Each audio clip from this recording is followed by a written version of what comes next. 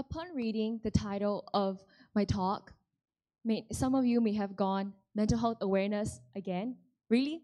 Perhaps because it is so oversaturated and overspoken on, on social media.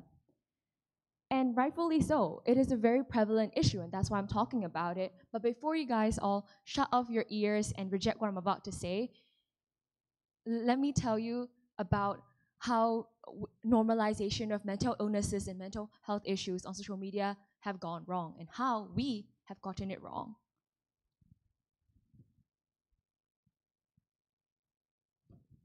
In efforts to normalize mental, mental health issues and illnesses, we went to the other spectrum where we romanticize it.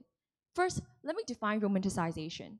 It is to deal with or describe in an idealized or unrealistic fashion, to make something seem better or more appealing than it really is. So some of these buzzwords that, uh, that you can associate romanticization with is glorification, idealization, glamorizing. Social media has effectively romanticized mental illness. What started as a way for us to bring awareness and make people who are struggling with mental illnesses feel included, feel heard, and feel supported in their journey, in, in their healing journey, has turned into a driving force that enables uh, uh, disordered behavior and mental illnesses and deter people away from actually wanting to heal from it because it is presented as something positive, something quote unquote beautiful, glamorous, beautifully painful. But there's a difference, you know, between telling people that it is okay to have mental illnesses and that is not their fault, but still, but still helping them heal from it, versus telling people that mental illnesses is something positive to have, that disordered behaviors is something that's beautiful to have.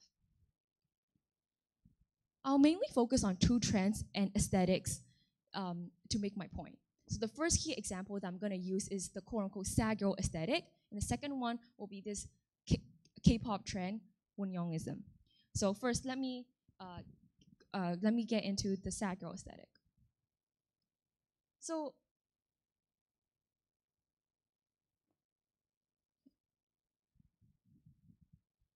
so the sad uh, so do you know what the sad girl aesthetic is?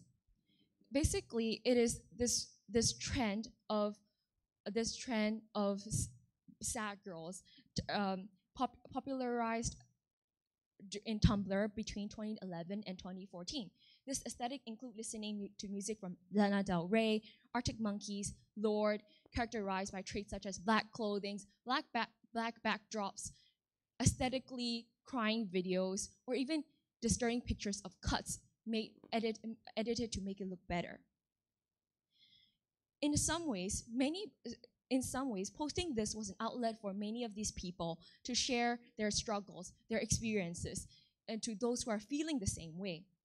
And by posting a lot of this, it effectively created a community of a sad girl. Because they couldn't find a community that supported them offline. And this is a good thing. I'm not downplaying the root issue. Is that they don't have a good support system and therefore seeking it in ways that are accessible to them via social media. So why was I drawn to this trope? It's, it's actually the same reason as everyone else. It's a, a sense of community that it brought me, that drawn me to this community. No, notably, it was, it was, it was at my lowest point in 2018 when I was actually drawn to this community. So an instance, I remember this instance that I was, was when my parents dropped me off at this very conservative religious camp. And in that place, they taught very, many archaic and conservative and patriarchal teachings.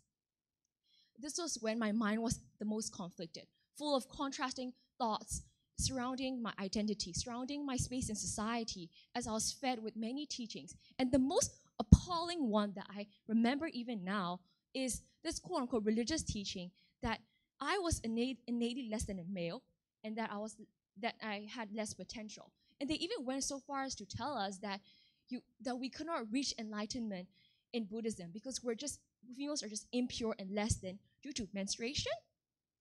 When I tried to question these teachings, I was shut down. I was shunned and scolded by everyone else at that camp. And they told me, You don't know because you're so young. You don't know because you're so privileged. This is not something that you should be questioning. You should not be questioning the monks.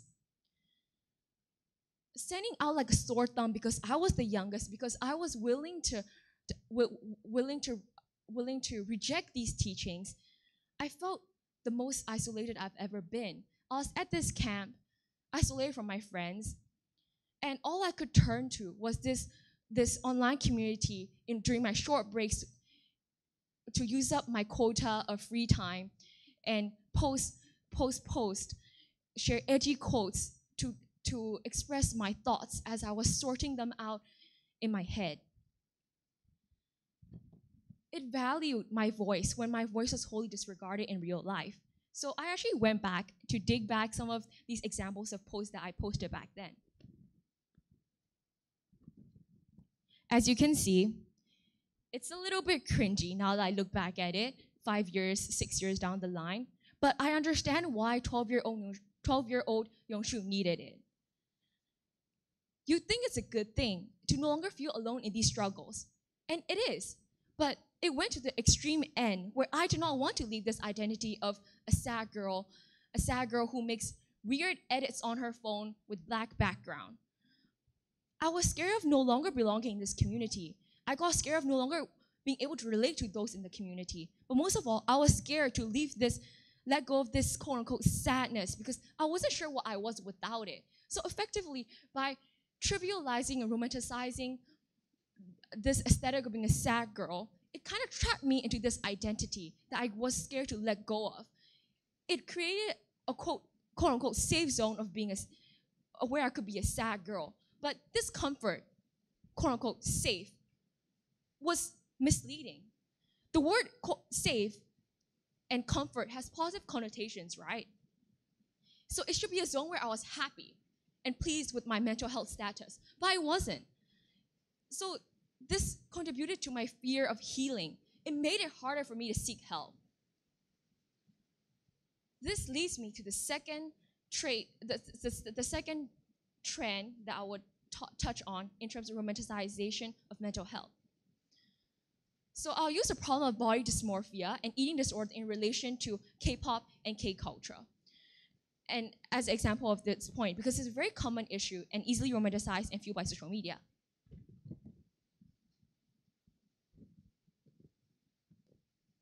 At this point, it'd be like a broken record to talk about the unrealistic, unattainable, and unhealthy ideals to look like certain K-pop idols. So they're very beautiful, talented, gorgeous human beings, but notably, they're thin. And that's why there are trends such as the IU diet, which literally consists of just one apple, sweet potatoes, and a protein shake. How is that sustainable for a diet? But yet, many were willing to try it and follow it because they wanted to look like her. There are many trends and videos titled Eating Like IU for a Day, Eating Like IU for a Week. But the thing is, these idols, such as IU or Momo, had already openly discussed about how unhealthy their diets were. For instance, Momo expressed how she only ate ice, ice cubes for one whole week, and she was scared at night to sleep because she was scared that she, was, she would never wake up again. So these idols have that blatantly rejected the had had re- rejected the crash diets that they were they uh, they that they were doing. So why are we still why are we still upholding these diets and upholding their body images when it was not even attained in a healthy manner?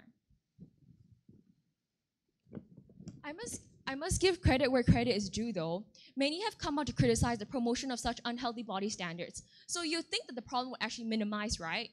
But no, it's actually very much prevalent and now packaged in an even more unassuming manner on mainstream media. The larger example is Wonyoungism. It is so widespread and popular that there's a whole name for the movement, that there's a ism attached to it. So if you, go, if, if you Google Wonyoungism on any sort of social media platform, you'll see videos that rake up thousands and thousands of views of of, of edits of her, of people wanting to act and live like her because, because she's idolized and people, her fans, want to look like her and want to act like her, to attain traits like her, such as elegance, beauty, femininity, which are all positive traits. But before I move on, I'll quickly introduce you to. Wen Young is from a K-pop group called IVE, and she's a very, uh, she's the center of the group, and she's one of the most popular idol in recent times. One could even say that she's the face of the fourth generation of K-pop. So why is this trend more dangerous than the trends before? I'll, I'll explain you why. If you Google Wonyoungism, if you if, if you Google Wonyoungism, you'll see this on Urban Dictionary. It refers to a trend of taking good care of yourself through skincare, exercise, and healthy eating habits.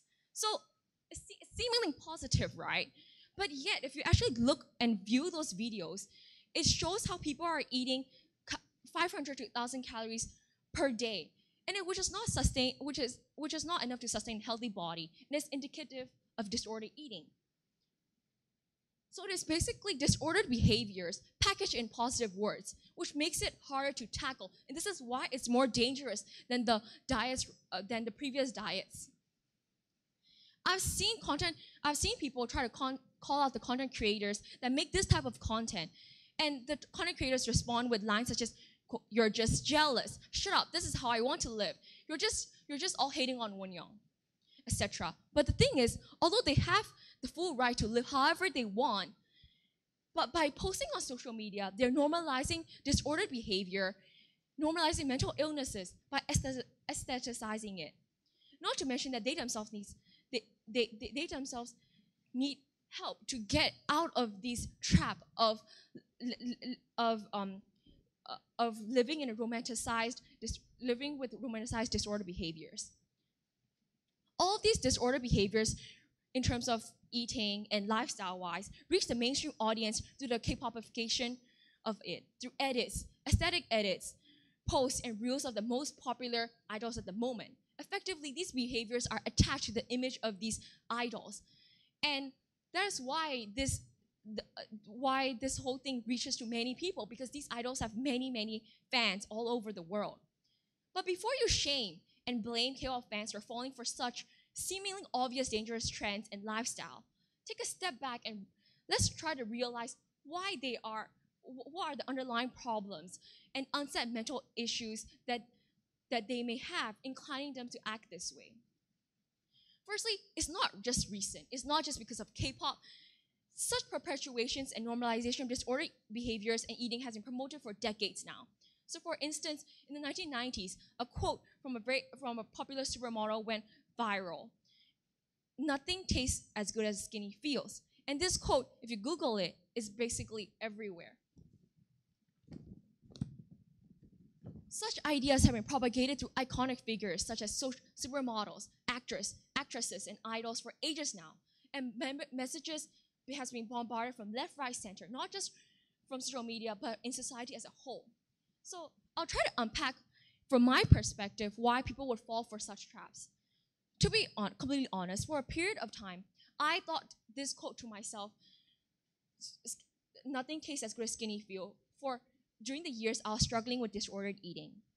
I, I agreed with this quote. I thought to myself, yes, food may taste good right now, but I'll feel awful afterwards when I look at myself in the mirror or on the scale.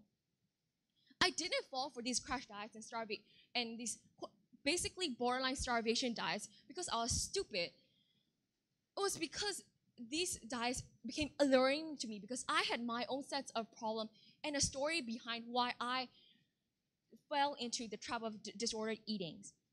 I was bullied for not being of a smaller frame back in Myanmar when I was in elementary school and middle school. Being left out and insulted by my peers, being name called Wama, which is basically pig in Burmese, or Fetibo, which is basically you're a fat person or remarks from my relatives uh, telling me, you, you got fatter since the last time I saw you. You should lose weight, which went on for years.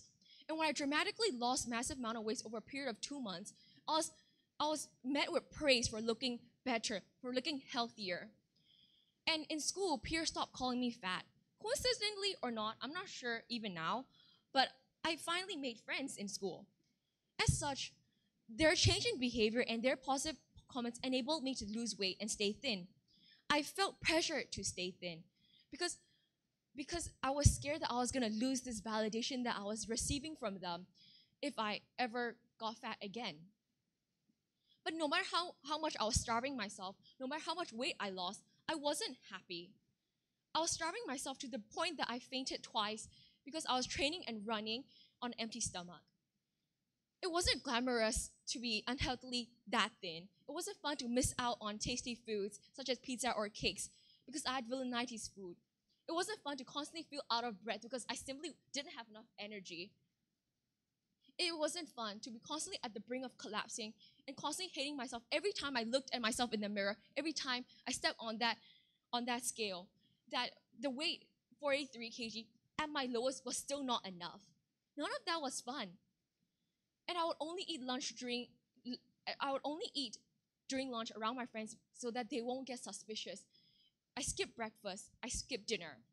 It was super damaging for 11 to a 12, 13 year old. As you can see, my point is, it wasn't social media or my, my stupidity that led me to fall, fall for these traps. Because it wasn't the root cause. But what the social media trends and the populariz- popularization and mainstreamization of, of uh, fat diets and romanticized disorder behavior was that it compelled me to, it, it compelled me and it preyed on people like me who are already struggling with other problems on their own to fall for these dangerous traps and to, to fall for disorder behaviors. As for, as for my final thoughts, the common denominator in both trends I spoke about today, sad girl aesthetic and Wonyoungism, is the act of perpetuating disorder behaviors and enabling mental illnesses to continue. Compel compelling people to live by and identify with these lifestyles to the point where seeking help or getting into the healing journeys becomes difficult. So, in our move to talk more about mental illnesses, disorder eatings, and to be more open about healthier lifestyle, where did we go wrong? And how can we be more cautious? To be frank, I don't have an answer because I'm still on my healing journey. I still go to therapy regularly, once a month, to deal with my to deal with my eating habits and deal with my anxiety. So I don't have an answer for you. But my point is we have to be cautious when talking about mental illnesses. And in efforts to raise more awareness and normalizing it, we have to be careful not to step the very thin yet dangerous line of romanticization. Thank you.